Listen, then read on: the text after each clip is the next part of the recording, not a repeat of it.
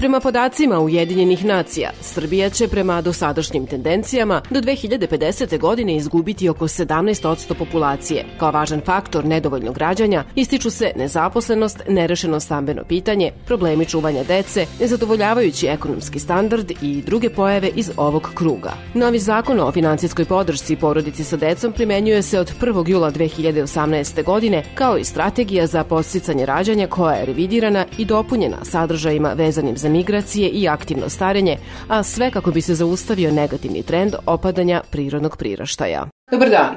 Iako se kao glavni razlozi pada nataliteta u Srbiji najčešće navode loša financijska situacija i nezaposlenost, uzroci su više decenijski i duboki.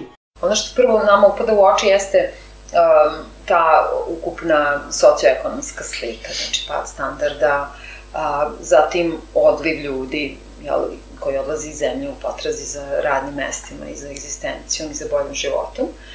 E, to je nešto što je možda onako delo kao da je primarno. Međutim, imam utisak da je ono što se dešava sada kod nas, zadnjih deceniju, recimo otprilike toliko, ili malo više, e, jeste jedan trend koji e, smo možda na neki način i e, pozajmili od zemalja zapada zapadne Evrope, recimo konkretno, gde se već dosta dugo beleži a, slična situacija, a znamo da su to zemlje sa visokim standardom, znači nemaju taj moment kao, kao smetnju ja, u realizaciji na, porasta nataliteta.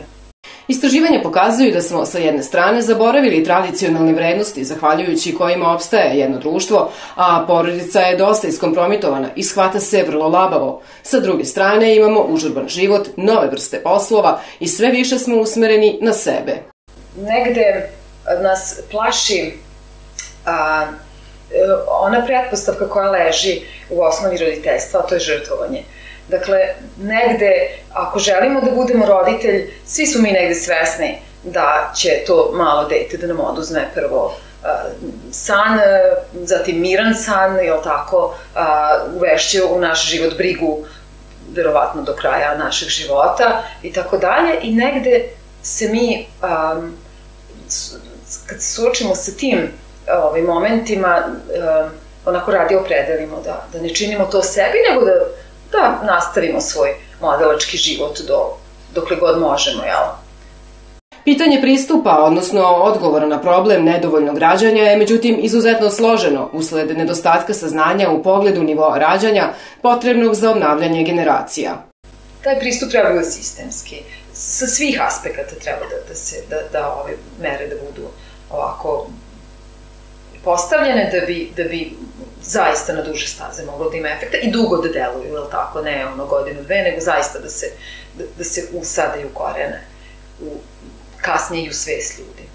Čovečanstvo mora da traži odgovor na problem nedovoljnog rađanja imajući u vidu posledice koje ono donosi na makronivou. Ipak ne može se očekivati da ćemo kao racionalna bića pronaći taj odgovor u bliskoj budućnosti, jer je potrebno vreme koje se meri ne godinama, već decenijama, da se spontano formira grupni, racionalan odgovor na nedovoljno rađanje, koji bi u konačnici doveo do porasta fertiliteta, odnosno porasta nataliteta.